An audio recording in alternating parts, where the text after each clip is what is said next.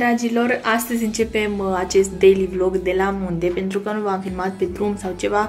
A fost un drum destul de lung și puțin obositor, așa că nu v-am filmat pe acolo. Dar uh, să știți că a durat ceva timp până am găsit o cazare ok, dar vreau să vă zic că e exact ce trebuie și o să vedeți din toate filmările și cadrele pe care vi le-am făcut. De ce spun asta? Vreau să vă fac un room tour, să vedeți Na, o să începem cu baia, pentru că asta e la ușa de lângă. Și cam așa arată baia. Avem și uscător, cabină de duș.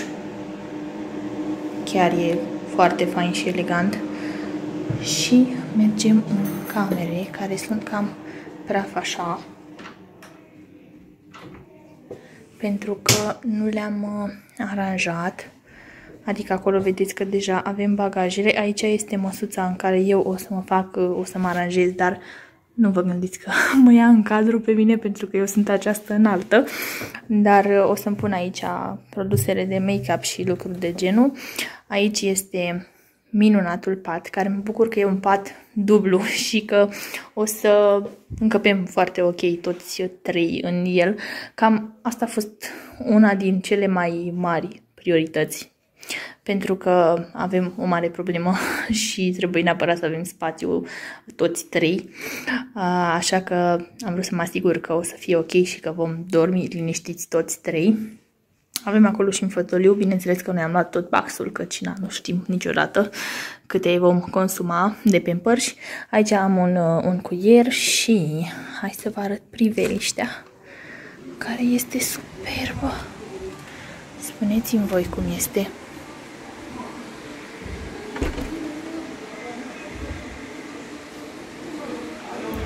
Și cum vi se pare zona.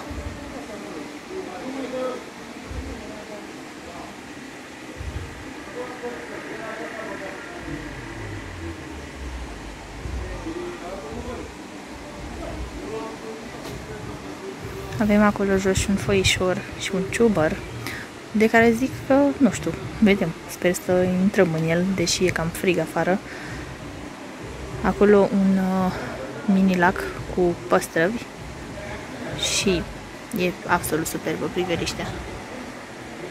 Așa, ziceam că suntem în Valea Vărjoghii, în județul Sibiu. Am făcut de la noi, din apropiere de Mioveni și până aici, uh, vreo 3 ore jumătate, numai că am mai oprit pe la Vâlcea, pe la Kaufland să mai cumpărăm tot ce aveam nevoie și uh, a mai durat ceva, cred că am făcut vreo 5 ore, uh, dar Slavă Domnului a fost ok, Ariana a dormit, a mâncat, a fost și puțin uh, agitată, dar ne-am descurcat bine, bine că am ajuns și suntem, uh, suntem liniștiți.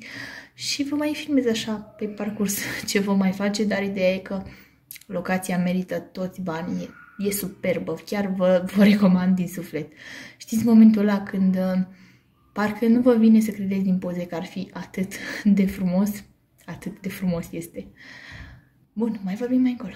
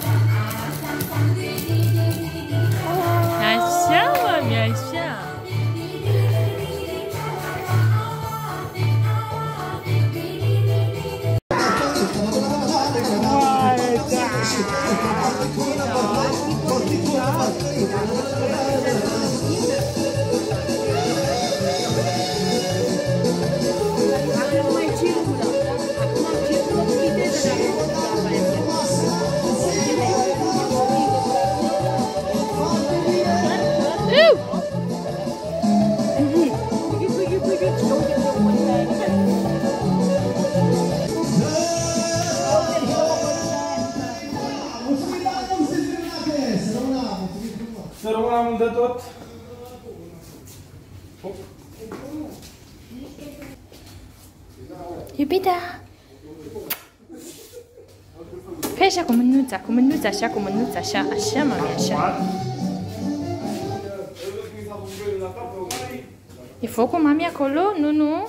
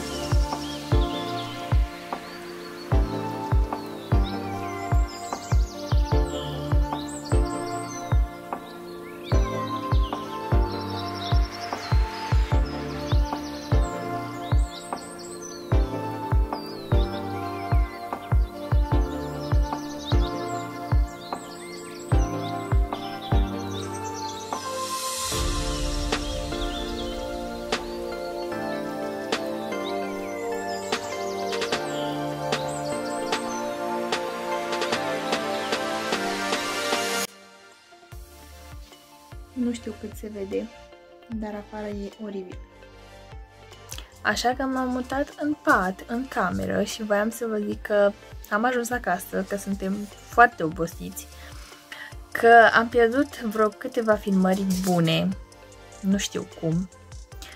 Uh, cel mai probabil s-a jucat cineva în telefonul meu și s-au dus, așa că îmi pare foarte rău că daily vlog ăsta o să fie destul de scurt, dar Mă bucur totuși că am reușit să filmez pentru voi și că o să vedeți așa cât de cât în ce locație frumoasă am fost. Uh, pe noi acum ne bate gândul sincer să mai uh, mergem o dată în august aici. Nu știu dacă o să mergem la mare sau vom reveni tot aici. Scuze pentru păr, pentru cum arăt, dar înțelegeți voi că după atâtea ore de drum suntem foarte obosiți. A fost și trafic decât, a fost și Ariana foarte agitată și abia așteptăm să ne facem un duș și să ne băgăm la somn pentru că suntem foarte obosiți. Uh, tot ce pot să vă spun e că uh, locația în sine are de toate, bucătăria e complet utilată, deci au tot ce aveți nevoie. Uh, singurul lucru de care aveți nevoie acolo este mâncare, adică trebuie să vă gătiți, dar tot ce ține de bucătărie, utilități, e super. Un singur minus am să vă spun faptul că nu se merită să mergeți la o distanță atât de mare și într-un loc atât de frumos pentru două-trei zile. Chiar nu se merită. Aveți baie în cameră, cred că v-am zis și pe parcurs și îmi pare rău că am pierdut anumite filmări, în special din Ciubăr.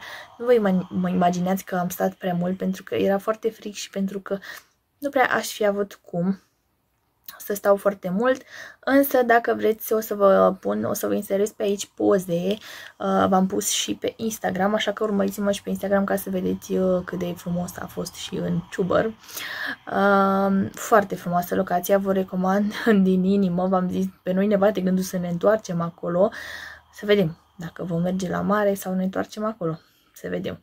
Dar ideea e că merită, chiar merită, e o locație de vis, unde sincer nu am mai fost și am vrea așa să explorăm cât mai multe locuri din astea uh, noi și foarte frumoase care merită vizitate. Așa că dacă aveți sugestii de genul cu locații care merită vizitate și de poveste și uh, liniștite, așa și relaxante.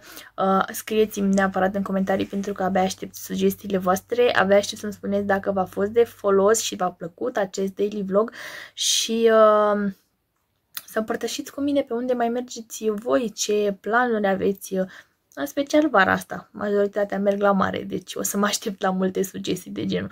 Dar chiar și pe acelea să știți că le aștept cu drag.